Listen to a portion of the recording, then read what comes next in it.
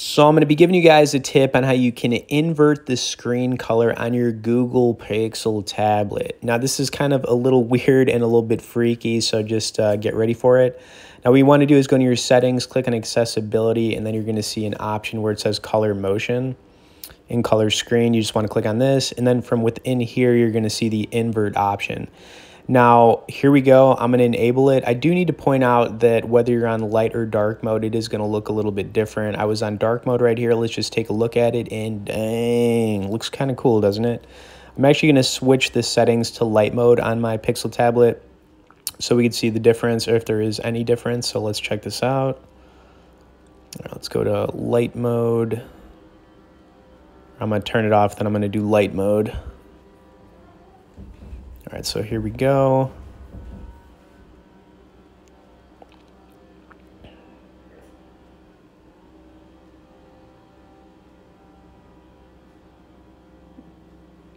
Okay, and I think, yeah, definitely, I think a little bit of a difference right there. Anyways, hope you guys enjoyed this quick tip. I also want to point out you can get on our tech newsletter where we send out one email a week on only the good stuff directly below in the description. As always, thanks for watching, and we'll see you on the next video.